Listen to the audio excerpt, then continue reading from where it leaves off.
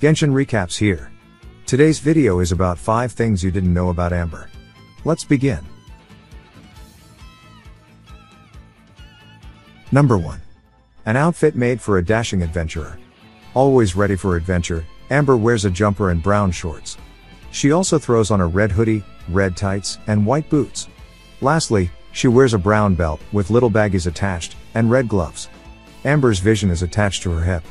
The best part about Amber's outfit, though, is her red headband with its signature bow on top. Number 2.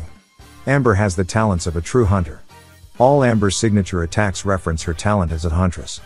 Her normal attack is sharpshooter, while her elemental skill is explosive puppet and her elemental burst is fiery rain.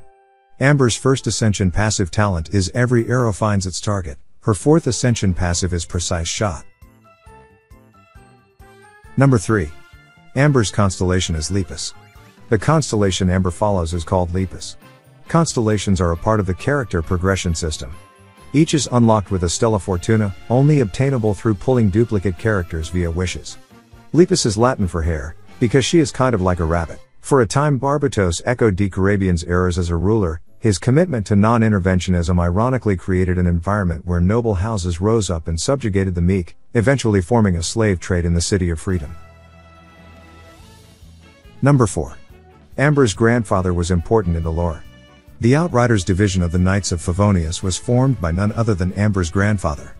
Unfortunately, he mysteriously disappeared. Still, he not only left behind a fantastic granddaughter but an awesome legacy. According to the game, Amber's grandfather comes from Liyue. This means Amber is partially Liyuean. The player might also run into Granny Ruoxin, an elderly woman who talks about falling in love with an adventurer who never returned from an expedition. This is likely Amber's grandfather.